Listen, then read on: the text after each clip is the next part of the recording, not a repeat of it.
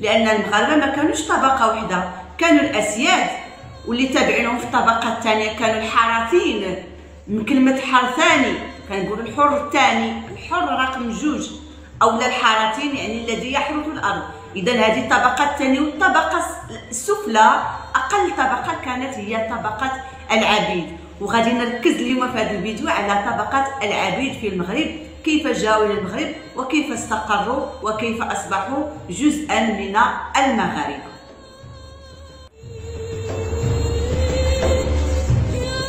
الناس اللي كانوا كيعيشوا في القصور كانوا كيمتلكوا العبيد. وفي عوض ما يسميوهم بدوك الأسماء الإفريقية ديالهم الأصلية سموهم بأسماء جديدة. الناس شحال هذا كانوا على علم بعلم الطاقة؟ هادشي اللي بحرا ولا جديد الناس المغاربة كانوا عارفينه. أول كلمة غادي تنطقها في أمي مع الصباح هي الاسم ديال الخادمة. فبالتالي خصنا ننطق واحد الكلمة اللي تكون متفائلة واحد الكلمة اللي غادي تجلب الخير. لذلك غادي نسمعوا بأن أسماء العبيد في المغرب كان عندها هاد الأسماء. كنسميو مبارك مسعود ياقوت جوهرة سعدية كلهم كانوا كيسميوهم الاسماء العبيد. السؤال المطروح الآن هو منين هو الأصل ديال هاد العبيد؟ والسؤال الثاني واش فعلا بصح أن هاد العبيد كانوا كيتحكموا في المغاربة وكيتحكموا حتى في السلاطين لدرجة أنهم كانوا كيعينوا السلطان اللي عجبهم وكيزولوه من بعد شهر أو شهرين إلا ما عجبهمش وما كيقدر حتى شي واحد يوقف ضدهم وفي القوة ديالهم. الجواب أن هذه المعلومات صحيحة ولكن سيناريو آخر غادي نشرحوه خطوة بخطوة. كان واحد السلطان علوي الاسم ديالو مولاي إسماعيل. تولى الحكم في الفترة ما بين 1645 و 1727 وهو في العمر ديالو 26 سنة. هاد السلطان ما كانش الأمر سهل عليه لأن أغلب القبائل رفضوه وتمردوا عليه ولقى صعوبة كبيرة بأنه يطيعوا لذلك هاد السلطان قرر باش يكون عنده واحد الجيش قوي قادر على أن يبطش بأعدائه وأنه يلغي هذيك العصبية القبلية اللي كانت في المغرب. بالفعل السلطان مولاي إسماعيل العلوي قدر أنه يشكل هذا الجيش على شاكلة وعلى مثال الجيش الانكشاري حتى أن العهد ديال هذا السلطان معروف في تاريخ المغرب أنه كان كيتميز بالاستقرار والأمن.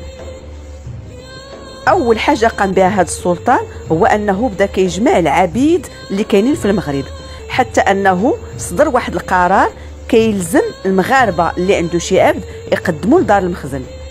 وجمع واحد العدد لا بأس به من العبيد. ولكن ما قنعوش هذا العدد ومشى جاب مازال العبيد من الدول المجاورة بحال السنغال والسودان وحتى القبائل المجاورة. وخلى لهم السلطان أنه يعرفوه بوحده فقط لا يعرفون أصولهم فهو الأب الروحي لهم وفعلا بداو كيطيعوه طاعة عمياء لأنه شرف شخصيا على التربية ديالهم. من بعد ما سقط الملكية ديال العبيد في المغرب وكانت التربية ديالهم عندها واحد الطابع خاص لأنه مجرد ما كيوصل الطفل الذكر إلى عشر سنوات أو البنت إلى عشر سنوات كان عندهم واحد التربية خاصة. البنت كتدفع لدار المخزن كتعلم أصول الطبخ والخياطة والطرز وآداب القصر وغيرها. أما الذكر فكانت عنده واحد السيناريو آخر في التعلم بمجرد ما كيوصلوا عشر سنوات كيبداو يتعلموا الحرف والمهن مثل الحدادة والنجارة والفلاحة وغيرها. من بعد ذلك كيتعلموا ركوب الخيل. وفي 11 سنه كيتعلموا ركوب البغال.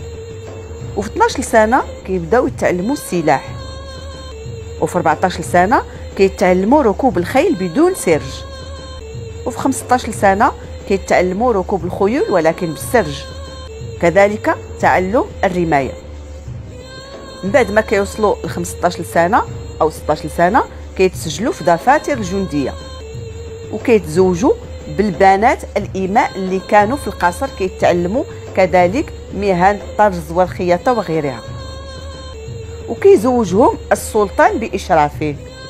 وكيعطيهم الفلوس لبناء المنازل باش يسكنوا فيها مع الزوجات ديالهم. وكينتظر منهم أنهم يتناسلوا ويتقدموا ليه الابناء ديالهم مرة أخرى ملي كيوصلوا عشر سنوات. والأصل ديال التسمية ديال هذا الجيش اللي هو جيش عبيد البخاري؟ أنه كيرجع إلى أن السلطان مولاي إسماعيل جبرهم باش يديو القسم على كتاب صحيح البخاري. وهذا القسم كيتجلى فيما يلي ألا وأنتم عبيد لسنة رسول الله صلى الله عليه وسلم وشرعه المشروع في هذا الكتاب. فكل ما أمر به نفعله وكل ما نهى عنه نتركه وعليه نقاتل. وكانت هذه النسخة كيحتفظ بها كل جندي. وكياخذها معاه في جميع المعارك والحروب. لكن الكارثة اللي غادي توقع هو بعد وفاة السلطان. لأن هذا الجيش غادي يقلب وجوع على المغاربة كيف ما كنقولوا وغادي يبدأ كينهب ويقتل ويسلب ويعين ويزول اللي بغى. حتى السلاطين اللي في المغرب ما قدروش عليه مازال. لدرجة أنهم كانوا كيعينوا السلطان اللي بغاو وكيزولوا السلطان اللي ما بغاوش. ولا العرش ما كيدومش فيه السلطان أكثر من شهر أو شهرين. وبسبب هذا الشيء المغاربة ولاو كيخافوا بزاف من العبيد نصف المغاربة تعرضوا للقتل من طرف جيش عبيد البخاري بسبب الظلم والاستبداد والجور والفوضى. ونصف الباقي من المغاربة تعرضوا إلى الموت بسبب المجاعة لأن هذا العام كان فيه القحط والجفاف والأوبئة. استمرت الفوضى والاضطراب بعد وفاة السلطان مولاي إسماعيل اللي كان كيتحكم في العبيد واللي كانوا العبيد كذلك كيطيعوه طاعة عمياء لكن بعد الوفاة ديالو ما بقاو كيخافوا حتى شي واحد يعينوا السلطان ويزولوه. ولكن كان آخر سلطان اللي قدر أنه يكسر شوكة عبيد البخاري هو السلطان المولى عبد الله بن إسماعيل. عبيد البخاري طغاو في المغرب وما بقى حتى شي واحد قادر يوقفهم عند حدهم. لدرجة أنهم رفضوا يعينوا الأمير مولاي عبد الله بن إسماعيل في العرش ديالو وقرروا باش يعينوا في مكانه شخص آخر اللي هو الأخ ديالو مستضيء بالله. لكن أهل فاس ومكناس والجبال وبرابرة المناطق المجاورة كانوا مساندين للأمير وقفوا بجنبه وساعدوا حتى دخل إلى مدينة مراكش وكسر شوكة العبيد شوكة عبيد البخاري. وفرقهم على القبائل المجاورة كما جاء في كتاب الاستقصاء للمؤرخ المغربي الناصري. مع ذلك لازم علينا نقول بعض الإنجازات اللي قام بها جيش عبيد البخاري في حق المغرب. منها استرجاع مجموعة من المدن والثغور المغربية التي كانت مستعمرة من طرف البرتغال مثل مدينة أصيلة ومدينة العرائش وكذلك مدينة طنجة. مدينة طنجة اللي قدمها البرتغال إلى ملك إنجلترا كهدية في حفل الزواج بالأميرة كاتالانيا البرتغالية. إلى غاية الآن سنة 2022 غادي نوجدوا مازال العبيد في القصور. اللي كيكبر منهم من نساء كتسمى الدادة وكتكون متفننة في الخياطة والطرز والطبخ وحتى التداوي بالأعشاب. وبالنسبة للرجال اللي كيكبر منهم راه كيشتغل إما في تربية الخيول وتنظيفهم أو في أعمال أخرى داخل القصور وكيسميوهم بالفرايكية. نتمنى نكون كنقدم لكم مواضيع تاريخية مفيدة. ما تبخلوش علينا بالاشتراك واللايك والسلام عليكم ورحمة الله تعالى وبركاته.